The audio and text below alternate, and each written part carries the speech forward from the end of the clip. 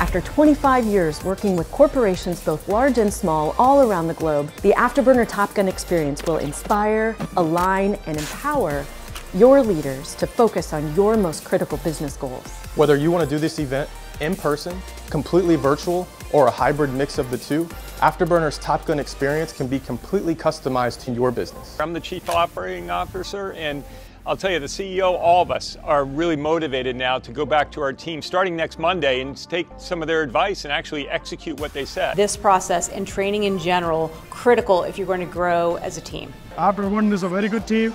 We enjoyed working with them. It was a great session we had.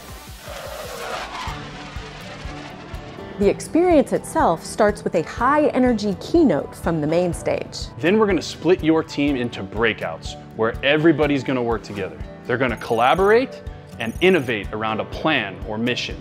The way that they deliver the messaging allows us to kind of step outside of these walls that we operate in. It's hard to measure just how valuable it is. I love the process. It seems very straightforward, and it's that level of clarity that I think will make it easy to implement. This team building experience culminates with the debrief. Teams must debrief in a nameless and rankless environment to get better every single day.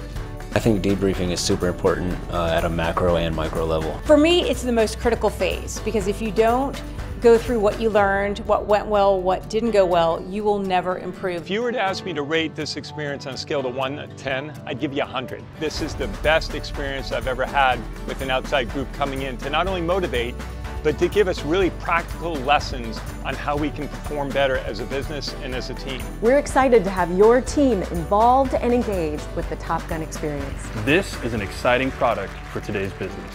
We'll see you there. We'll see you there. We'll see you there.